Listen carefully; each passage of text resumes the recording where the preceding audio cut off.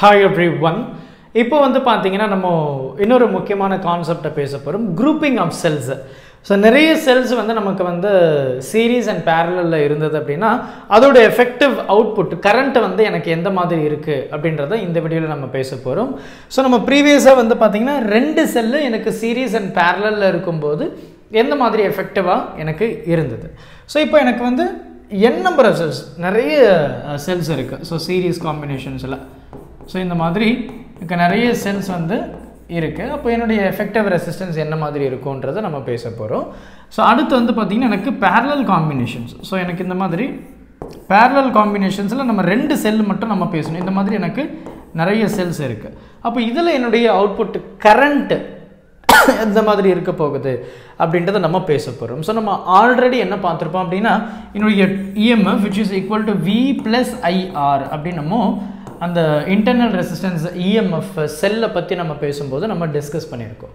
இப்போ பார்த்தீங்கன்னா number of identical cell same cells okay அதுதான் இங்கே வந்து கொஞ்சம் முக்கியம். Number of so n number of cells இருக்கும்போது என்னுடைய கரண்ட் அவுட்புட் வந்து எந்த மாதிரி இருக்கும்? இப்போ சீரீஸ் காம்பினேஷன்ஸில் எனக்கு எப்படி இருக்கும் அப்படின்னு பார்த்தீங்கன்னா இப்போ நான் முன்னாடி வரைஞ்சேன் இல்லையா? ஸோ எனக்கு வந்து first cell second cell third cell அப்படின்னு சொல்லிட்டு you will have n number of cells அப்போ எனக்கு சீரீஸ் காம்பினேஷன்ஸில் நம்ம ஆல்ரெடி படித்தது என்ன அப்படின்னா என்னுடைய கரண்ட்டு வந்து சேமாக இருக்கும். சீரீஸில் கரண்ட் வந்து சேமாக இருக்குது பேரலில் எனக்கு வோல்டேஜ் வந்து சேமாக இருக்குன்றதை நம்ம பார்த்துருக்கோம்.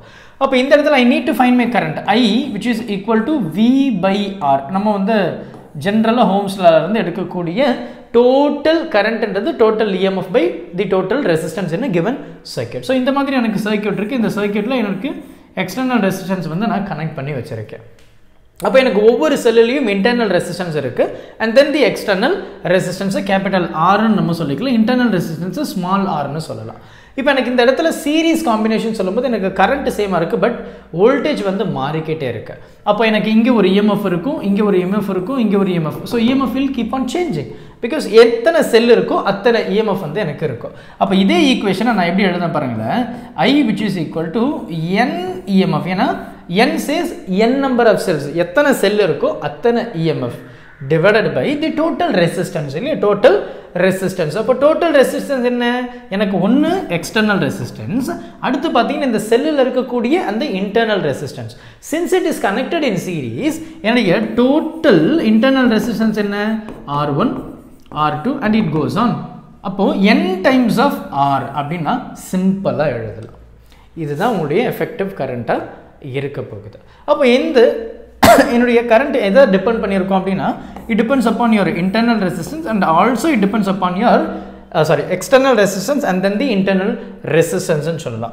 சப்போஸ் என்னுடைய ஆர் வந்து is greater than small R அப்படின்னா இந்த ஈக்குவேஷன் எப்படி மாறும் பாருங்களேன். I which is equal to என்னுடைய ஆர் தான் வந்து மச் கிரேட்டர் தேன் திஸ் அப்போ இதை நான் நெக்லெக்ட் பண்ணிட்டேன்னா your value becomes n EMF by capital R suppose என்னுடைய ஆர் வந்து லெஸ் தேன் ஸ்மால் ஆர் அப்போது ஸ்மால் ஆர் தான் ஹையராக இருக்குது அப்படின்னா உங்களுடைய கரண்ட் எப்படி இருக்கும்? இதை நான் நெக்லெக்ட் பண்ணிவிடுவேன் so n EMF by n times of R என்னும் என்ன போயிடும். So you will get EMF by R அப்போ இந்த இஎம்எஃப் பை ஆர் பண்ண கரண்ட்ன்றது வி பை ஆர் இது வந்து ஒரு சிங்கிள் ரெசிஸ்டன்ஸ் அதாவது சிங்கிள் செல்லில் இருக்கக்கூடிய கரண்ட்டு தான் இது.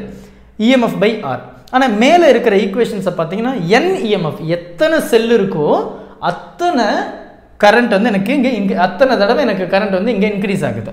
ஸோ இங்கே வந்து ஐ வந்து n times of EMF but இங்கே பார்த்தீங்கன்னா பாருங்களேன் சிங்கிள் செல் தான். ஸோ அந்த மாதிரி நீ எத்தனை செல்லு கனெக்ட் பண்ணாலும் சரி என்னுடைய கரண்ட் வந்து ஒரு சிங்கிள் செல்லில் வரக்கூடிய அவுட்புட் கரண்ட் தான். எனக்கு சீரீஸ் காம்பினேஷனில் when your external resistance is less than internal resistance கிடைக்கும். அதாவது இது இந்த கேஸில் அப்போ இட் ஹேஸ் நோ எஃபெக்ட் நீ தௌசண்ட் செல்ஸை சீரீஸில் கனெக்ட் பண்ணாலும் உன்னுடைய இன்டர்னல் ரெசிஸ்டன்ஸ் அதிகமாக இருந்ததுன்னா அந்த அவுட்புட் வந்து ஒரு செல்லில் வரக்கூடிய கரண்ட்டாக தான் இருக்க போகுது. இதே மாதிரி சீஸில் கனெக்ட் பண்ணியிருக்கேன். ஆனால் என்னுடைய எக்ஸ்டர்னல் ரெசிஸ்டன்ஸ் வந்து ரொம்ப அதிகமாக இருக்குது when compared to the internal resistance of the cell அப்படின்னா உங்களுடைய அவுட்புட் வந்து நீ எத்தனை செல்லு கனெக்ட் பண்ணியிருக்கோ அந்த அளவுக்கு உங்களுடைய கரண்ட்டும் இன்க்ரீஸ் ஆகும். ஸோ அதுதான் I equal to n EMF by R so இது வந்து series combination when we have identical cells so அதுதான் இங்கே நமக்கு ரொம்ப முக்கியம். அடுத்து parallel combination so parallel combination நான் சொன்னேன் இல்லையா? ஸோ எனக்கு இது வந்து ஃபஸ்ட்டு இது வந்து செகண்டு இது தேர்ட் அந்த மாதிரி எனக்கு என் நம்பர் ஆஃப் செல்ஸ் இருக்கோ அதோட நம்ம எக்ஸ்டர்னல் ரெசிஸ்டன்ஸை கனெக்ட் பண்ணியிருக்கோம். ஸோ இதுலேயுமே நம்ம அதே ஈக்குவேஷன் தான் யூஸ் பண்ண போகிறேன் I which is equal to V by R so வின்றது என்ன? இஎம்எஃப் இங்கே இஎம்எஃப் என்னது? பேரலல் காம்பினேஷன் சொல்லும்போது உங்களுடைய EMF remains same so EMF divided by external resistance R and internal resistance பார்த்தீங்கன்னா ஒரு ஒவ்வொரு செல்லுக்கும் இருக்கக்கூடிய இன்டர்னல் ரெசிஸ்டன்ஸ் எனக்கு எல்லாமே பேரல் காம்பினேஷன்ஸில் இருக்குது அப்போ one by RP equal to one by R one one by R டூன்னு அப்படியே எனக்கு போயிட்டே இருக்கும். அப்போ one by RP total which is equal to n times of R R RP அப்படின்றது வந்து ஆர் பை என்னு நான் சொல்லலாம். அப்போ எனக்கு internal resistance plus external resistance தான் total resistance of the given circuit so that is nothing but R upon n அப்போ இது எப்படி எழுதலாம்? ரெசிப்ரோக்கல் சாரி எல்சிஎம் எடுத்து இது இப்படி போயிடும் அது அப்படியே மேலே போயிடும். So n EMF by n times of capital R plus small R இதுதான் உங்களுடைய டோட்டல் கரண்ட்டாக இருக்க போகுது. இது அப்படியே ப்ரீவியஸ் கேஸுக்கு கொஞ்சம் டிஃப்ரெண்ட்டாக இருக்குது ஸோ அங்கே பார்த்தீங்கன்னா என் ஆறுன்னு இருந்தது இன்டர்னல் ரெசிஸ்டன்ஸ் பிகாஸ் அடிஷன் இப்போ இங்கேயுமே அதே மாதிரி ரெண்டு conditions when R is less than R when R is less than R right capital R R இன்னும் சிம்பிளாக சொல்லணும்னா என்னுடைய ஆர் வந்து கிரேட்டர் தென் ஸ்மால் ஆர் அப்போ இங்கே பாருங்கள் என்னுடைய கரண்ட் எப்படி இருக்கும்?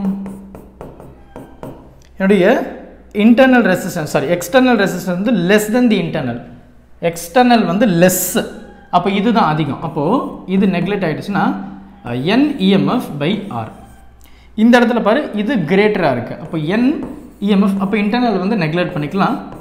R so this becomes n sorry EMF by R இப்போ நல்லா பார்த்தீங்கன்னா ப்ரீவியஸ் கேஸுக்கும் இந்த கேஸுக்கும் அப்படியே எக்ஸாக்ட்லி ஆப்போசிட்டில் இருக்குது ஸோ ப்ரீவியஸ் கேஸில் என்னுடைய எக்ஸ்டர்னல் ரெசிஸ்டன்ஸ் வந்து அதிகமாக இருக்கும்போது சீரீஸ் காம்பினேஷனில் அவுட்புட் அதிகமாக இருந்தது. பட் இந்த இடத்துல பார்த்தீங்கன்னா என்னுடைய எக்ஸ்டர்னல் ரெசிஸ்டன்ஸ் இன்டர்னலை விட கம்மியாக இருக்கும்போது தான் எனக்கு மேக்ஸிமம் அவுட்புட் ஏன்னா n times of EMF by R இங்கே பாரு வெறும் இஎம்எஃப் பை ஆர் ஸோ இந்த கேஸும் அதில் இருக்கிற இன்டர்னல் ரெசிஸ்டன்ஸ் லெஸ் தென் கேஸும் சேம் கரெக்டா அப்படியே ஆப்போசிட்டில் ஸோ இதுதான் வந்து எனக்கு மேக்ஸிமம் அவுட்புட் வந்து கொடுக்கறதுக்கான ஒரு கேஸ் அப்படின்னா வென் யுவர் எக்ஸ்டர்னல் ரெசிஸ்டன்ஸ் வந்து லெஸ் தென் இன்டர்னல் ரெசிஸ்டன்ஸ் அதில் external resistance should be greater than internal resistance so இதுதான் ஐடென்டிக்கல் செல்ஸை என் நம்பர் ஆஃப் ஐடென்டிக்கல் செல்ஸை நம்ம சீரீஸ்லையும் பேரலையும் கம்பைன் பண்ணும்போது எனக்கு கிடைக்கக்கூடிய எஃபெக்டிவ் கரண்ட் வந்து இதுதான்.